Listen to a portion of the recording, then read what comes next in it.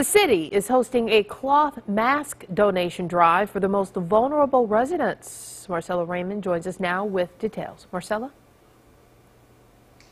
Hi there, Tanya. We all know that there's a shortage of PPE pretty much everywhere in the country, but there's an urgent need for masks in the city. So aldermen and some churches are teaming together to get those masks to vulnerable communities.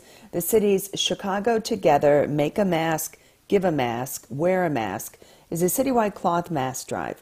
All the masks will be provided to homeless shelters, community health clinics, and others to prevent outbreaks among the city's most high risk residents. You can drop them off at several aldermanic offices and churches, and they will deliver them to the United Center to be put in kits packed by Team Rubicon.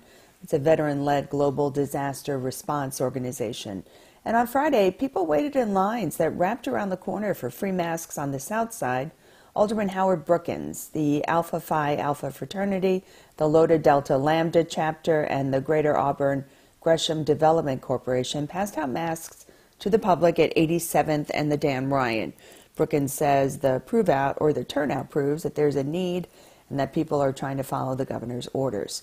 So that citywide project where you can make masks will be um, going on through Saturday, May 16th. It's from 10 a.m. to 2 p.m. on Tuesdays and Saturdays only. So you can go today if you would like a full list of the donated masks or ways to donate um, you can visit chicago.gov uh, slash coronavirus. So it's such a short, um, you know, shortage of masks and, per- and PPE equipment.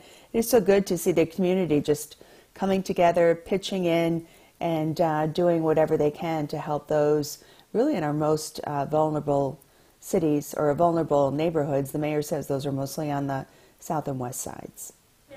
Tanya and Sean, back to you. All right, Marcella, thank you very much.